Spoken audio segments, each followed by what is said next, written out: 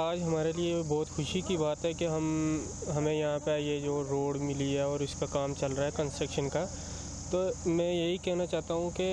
मतलब हम हमें आज कोई भी काम करने में कोई भी परेशानी नहीं होगी, कोई भी बिज़नेस या क्योंकि हम कॉलेज के लिए पहले हमें यहाँ से चल के जाना पड़ता था या फिर हमें कोई भी काम करना पड़ता था तो हमें यहाँ से मतलब अपने पाँव यहाँ से चल के जाना पड़ता था और हमें बहुत टाइम लगता था।